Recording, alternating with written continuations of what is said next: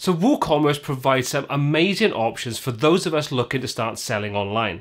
But by default, you're fairly limited in styling and setting things up in the way that you may want to, well, you're kind of limited.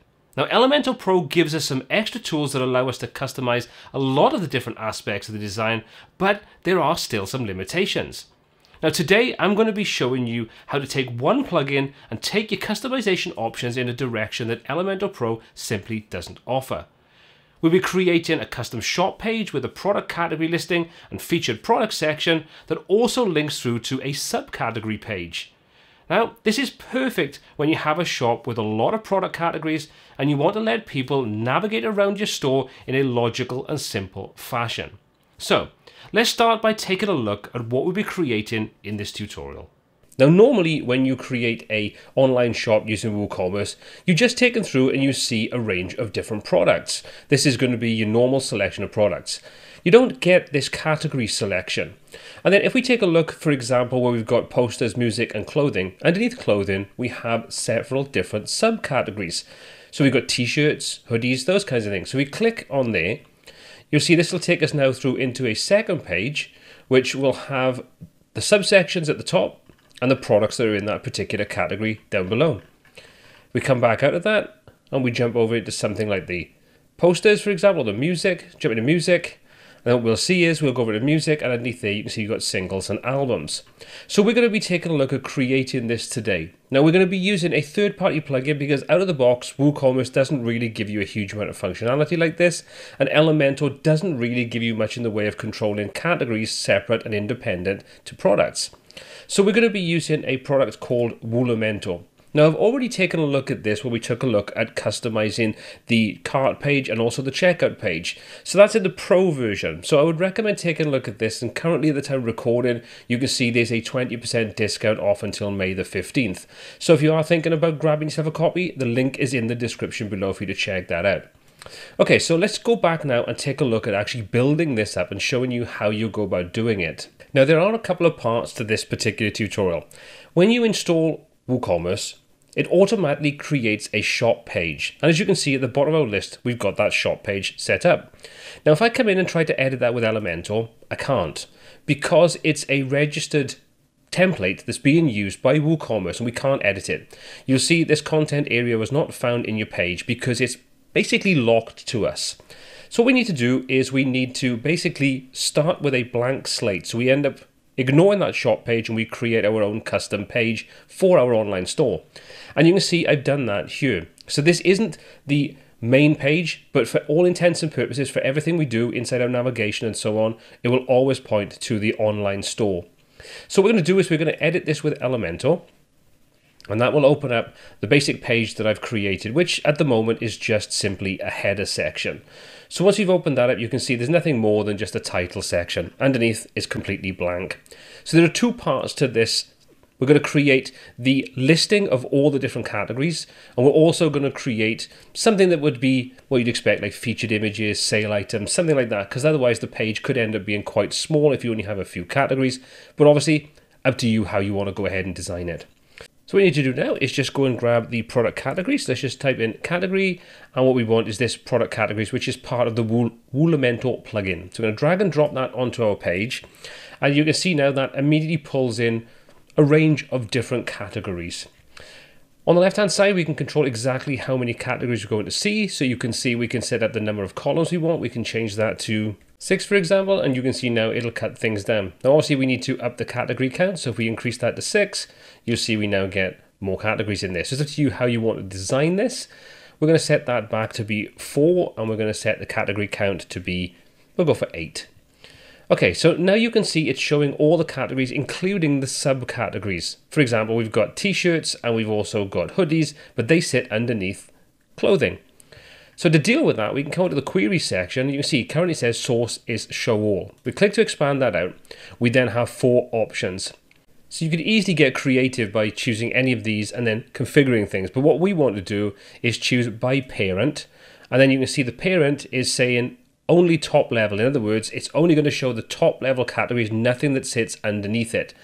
Click to expand that down. We could easily sub-filter that down if we wanted to. Entirely up to you. If you want to create custom pages for each of the different kinds of sections, you could do something along the lines like that. We're going to leave it as only top level though. But you can see that we've got a couple of items like uncategorized, which is one of the default categories as part of WooCommerce, and also digital items that have nothing inside there. So what we can do is we can say hide empty, and that will now only show us the ones that have content inside them. We can then adjust the ordering by see it's already set to show as name to start off with, and then we've got descending. We could change that to ascending. Up to you how you want to set things up in there to make sure it displays the way that you want it to. So that's the first part done. We've now kind of created that. So all we need to do is just make a little bit of space for this. And we'll come to advanced and we'll just add in some padding at the top and the bottom. And we'll drop in a little title at the top to say what this actually relates to. And we'll just put in product categories. And there we go. So we've got the first part done. The next thing we're going to do now is just put another section underneath, which is more to do with like featured images and, or featured products and so on. So we're going to come back in. We're going to do a search for products. And from there, we're going to choose the relevant option, which is where we've got it, which is products. I'm going to drag and drop that into here. Again, you can see you've got the same kind of options, the number of columns, the rows, the pagination if we want to include it, if you're going to have a lot of different products. But the query is what we're interested in doing. And you can see it says currently it's saying for the latest products. But what I want to do is set these to be featured products. So we're going to choose that option. And you can see nothing has been set to be featured, so we'd have to set something up inside there, which I'll show you in a moment how to do. We'll duplicate this and we're just going to simply drag that down, position that above, and we're going to change that to featured. There we go. And we're going to simply choose this section. We're going to add some space into this like we did with the last one. So we have 50 top, 50 bottom and we're going to come into the style and we're going to go to our background and set that to be white just so it stands off a little bit. And there we go. So that's the side of things done. Let me just quickly show you now how you just tell any product to be a featured product.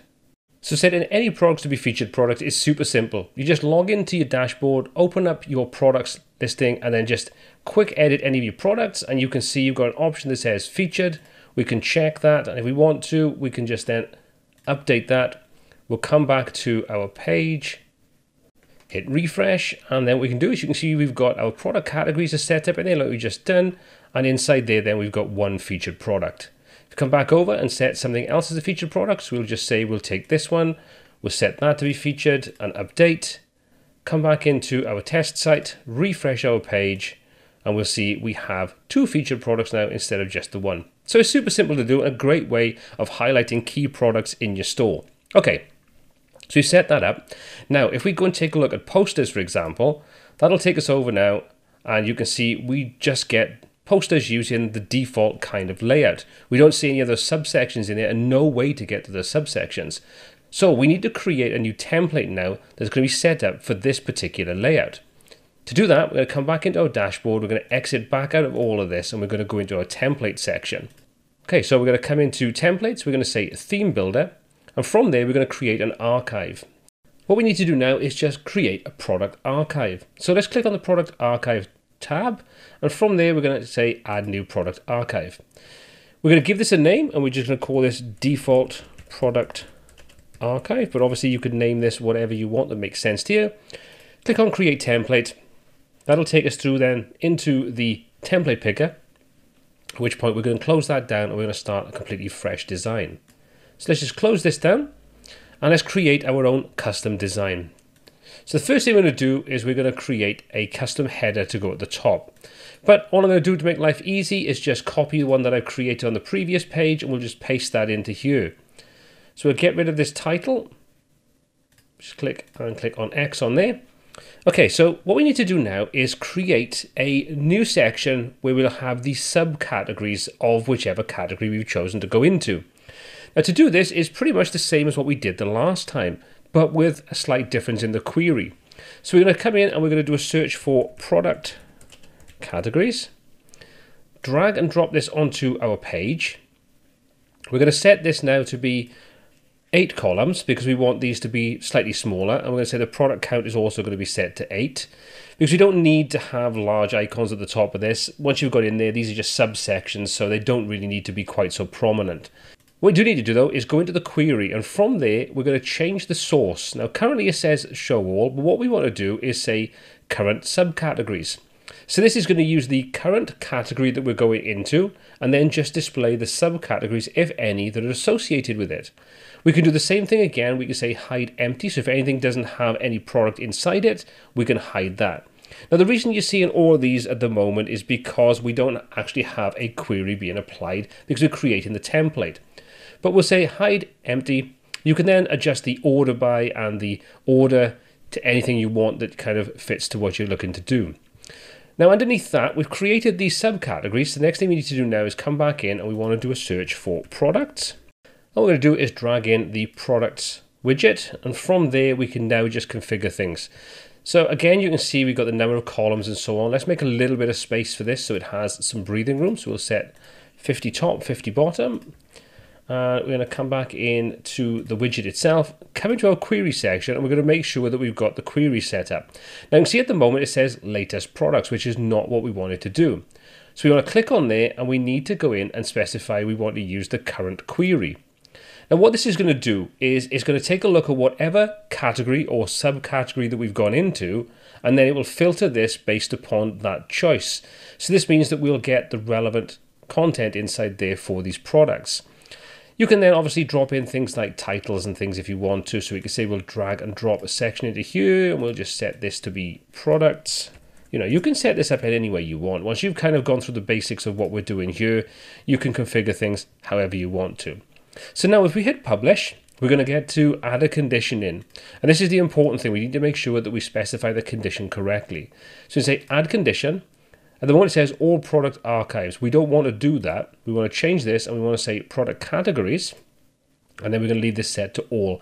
So this is only going to work and display the content through product categories. So if we say save and close now, we've now created our template, we've created our shop page. So now everything should be set up for us to test out. So let's take a quick look at this now on the front end of the site. Okay, so you can see we're now on our custom shop page which is our online store, as opposed to the default, which is shop. So you can see that's linked up in the top navigation. Underneath, we've got our product categories like we did in the original demo, posters, music, and clothing. We then got our featured products underneath that. And if we go into something like clothing, we'll find that we get at the top part of this, we've got our subcategories, our t-shirts and our hoodies. We can see all of our clothing options. So this is showing both hoodies and t-shirts. However, if we come into something like t-shirts, you'll find that when we take a look underneath, we've now sub-filtered that down and you can see we only see t-shirts and because there are no subcategories of this, then nothing shows at the top, so that's kind of completely hidden. So you can have multiple different layers inside you, multiple different categories and subcategories and so on. And then once you get to the bottom of that hierarchy, then you'll have no more subcategory sections at the top. Now, obviously, you could also apply filters and things to this. There's a ton more things you could do. But what I wanted to demonstrate was how we can create those categories, how we can sub-filter things down, and how we can make a logical way of allowing people to move around our store quickly and easily. And as we add more categories, all that will take into consideration and the store will be set up the way you want. Now, the nice thing with Woolementor going back to that is that we can still customize all these different sections. So we're not limited to this looking the way that it does. We can easily come in and we can control and style all these aspects. So the product section, for example, where we can control the styling. So we can come in and we can adjust column gaps, you can adjust the image information, spacing, colors, alignment, all those kinds of things. So if you want to get something a little bit more unique, then Woolementor is definitely one of those plugins that gives you a ton of options. Now, if you'd like to see a full tutorial on how to build an entire WooCommerce site and customize it using Woolementor to create all these different kind of categories, these different sections, these different custom templates, let me know in the comment section below. I'll take a look at creating that if enough people are interested in finding out more about creating custom WooCommerce stores. So Woolementor offers some great options, and if you want to see some of the other customization tools that I've covered, you can take a look at these videos you can see on screen right now. Now, as always, all of the applicable links for everything I've covered are in the description below so you can check those out. There are affiliate links in there, but they cost you absolutely no more money and it does help support the channel if you use those. As always, my name is Paul C. This has been WP Tuts and until next time, take care.